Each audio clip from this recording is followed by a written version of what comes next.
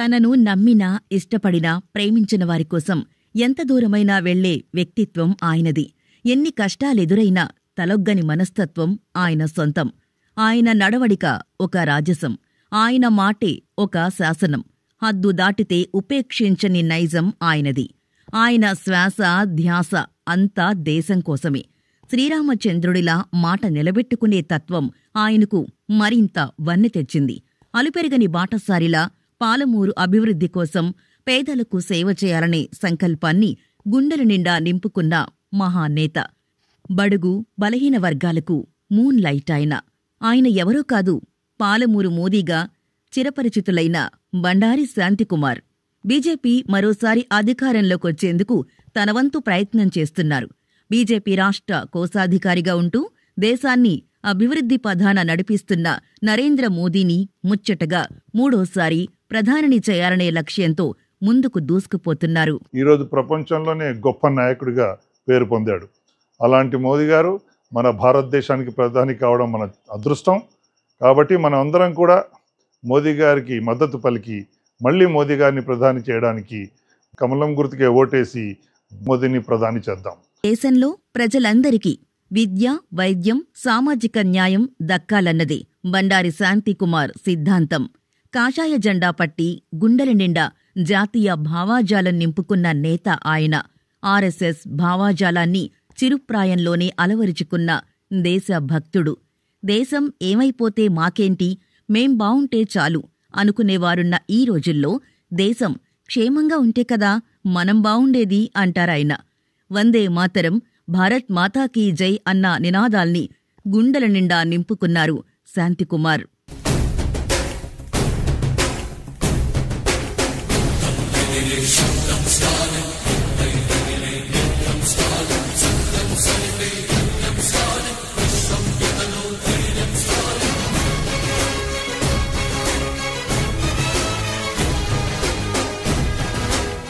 నెల్లూరులోని వ్యవసాయ కుటుంబంలో శాంతికుమార్ నవంబర్ ఇరవై తొమ్మిది పంతొమ్మిది వందల యాభై ఏడులో జన్మించారు.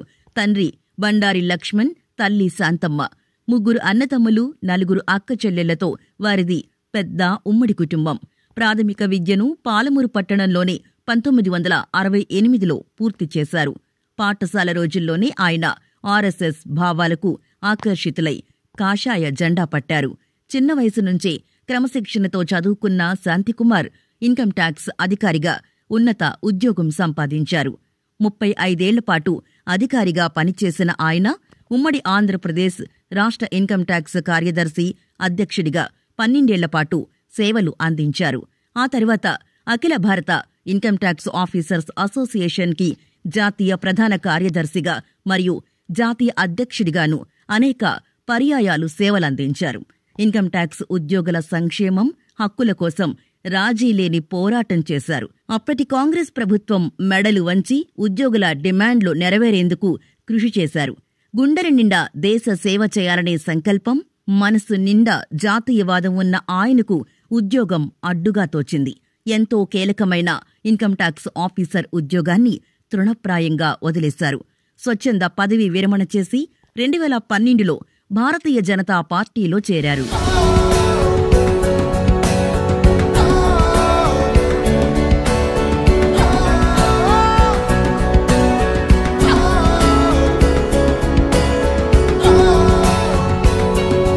బీజేపీలో చేరిన సమయంలోని తెలంగాణలో ప్రత్యేక రాష్ట్ర సాధన కోసం ఉవ్వెత్తున పోరాటం కొనసాగుతోంది. ఎంతో వెనుకబడిన తెలంగాణ ఉమ్మడి పాలమూరు అభివృద్ధి బాట పట్టాలంటే ప్రత్యేక రాష్ట్రం సాధించాల్సిందేనన్న లక్ష్యంతో శాంతికుమార్ ఉద్యమంలో ఎంతో చురుగ్గా పాల్గొన్నారు. పార్టీ తరపున అనేక కార్యక్రమాల్లో పాల్గొని రాష్ట్ర సాధనలో తన వంతు పాత్ర పోషించారు. ఉద్యమ సమయంలో పోలీసుల లాఠీ దెబ్బలు తిన్నారు. జైలుకు కూడా వెళ్ళారు. తెలంగాణ సాధించిన వారిలో ఆయన ఒకరు.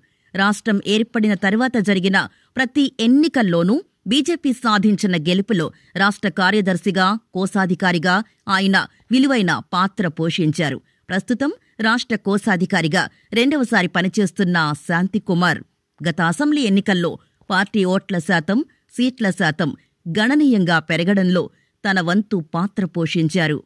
జాతీయవాదాన్ని హిందుత్వాన్ని ముందుకు తీసుకెళ్ళాలనే సంకల్పంతో శాంతికుమార్ అహర్నిశలు కృషి చేశారు. తెలంగాణలో పార్టీని బలోపేతం చేయాలనే చిత్తశుద్ధితో ఆయన నిరంతరం పనిచేస్తున్నారు. దేశంలో పరాయి పాలన వద్దని స్వదేశీ పాలన ఉండాలన్నదే ఆయన ధ్యేయం. కాషాయ జెండానే ఈ దేశానికి రక్ష అన్నదే ఆయన నినాదం. ఈ క్రమంలోనే ప్రధాని నరేంద్ర మోదీ కేంద్ర హోంమంత్రి అమిత్ షా జాతీయ అధ్యక్షులు జెపి నడ్డా కేంద్ర మంత్రులు పలువురు ఆర్ఎస్ఎస్ కేంద్ర ప్రతినిధులు అత్యంత ముఖ్య నాయకులతో శాంతికుమార్కు పరిచయం ఏర్పడింది. తెలంగాణలో రాష్ట్ర అధ్యక్షుడు కిషన్ రెడ్డి ముఖ్య నాయకులు లక్ష్మణ్ బండి సంజయ్ ఈటెల రాజేందర్ వంటి నేతలకు ఆయన మంచి స్నేహితుడు. పార్టీలో అందరికీ ఇష్టమైన వ్యక్తిగా ఆయన నిలిచారు. పార్టీ ఆదేశాలను శిరస వహిస్తూ రాష్ట్రంలో పార్టీని మరింత బలోపేతం చేసేందుకు ఆయన తీవ్రంగా కృషి చేస్తున్నారు.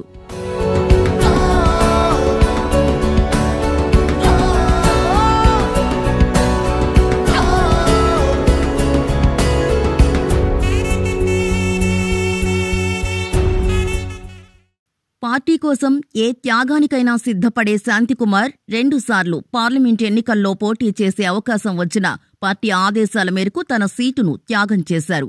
రెండు వేల పద్నాలుగులో అప్పటి టీడీపీ సీనియర్ నేత నాగం జనార్దన్ రెడ్డి బీజేపీలో చేరడంతో ఆయన కోసం శాంతికుమార్ పోటీ నుంచి తప్పుకుని విస్తృతంగా ఎన్నికల ప్రచారం చేశారు. రెండు వేల పంతొమ్మిదిలో బీజేపీ నుంచి పాలమూరు ఎంపీగా పోటీ చేసేందుకు శాంతికుమార్కు అవకాశం వచ్చింది. అయితే అప్పటి సీనియర్ కాంగ్రెస్ నేత మాజీ మంత్రి డీకే అరుణ చివరి క్షణంలో బీజేపీలో చేరడంతో పార్టీ నిర్ణయం మేరకు తన సీటును ఆమె కోసం త్యాగం చేయాల్సొచ్చింది క్రమశిక్షణ కలిగిన బీజేపీ సైనికుడైన శాంతికుమార్కు మరోసారి కూడా పోటీ చేసే అవకాశం వచ్చినట్లే వచ్చి చేజారిన. ఏ మాత్రం ఆవేదన చెందకుండా డీకే అరుణ కోసం ఎంతో కష్టపడి పనిచేశారు. వాస్తవానికి జిల్లాలో బీజేపీ కష్టకాలంలో ఉన్న ప్రతి సందర్భంలోనూ శాంతికుమార్ పార్టీని భుజాన వేసుకుని బతికించుకున్నారు. జిల్లాలో పార్టీ బలోపేతం అయ్యేలా ఎంతో కృషి చేశారు. పార్టీ ఇచ్చిన ప్రతి పిలుపును కార్యక్రమాల్ని విజయవంతం చేశారు. శాంతికుమార్ పేదలతో మమేకమై ముందుకు సాగుతున్నారు. పార్టీ కార్యక్రమాల్లో విస్తృతంగా పాల్గొంటున్నారు. కేంద్ర ప్రభుత్వ పథకాల్ని ప్రజలకు వివరిస్తూ ముందుకు సాగుతున్నారు.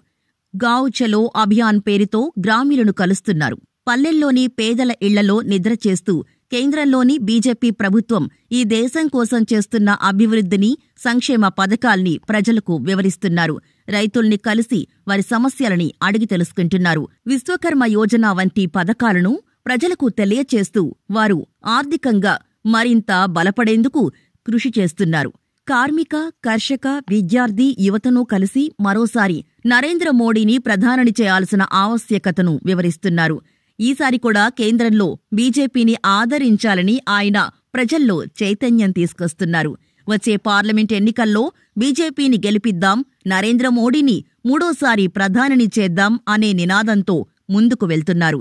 శాంతివనంలో వికసించిన కమలంలా శాంతికుమార్ దేశం కోసం ధర్మం కోసం అలుపెరగని బాటసారిలా ముందుకు సాగుతున్నారు.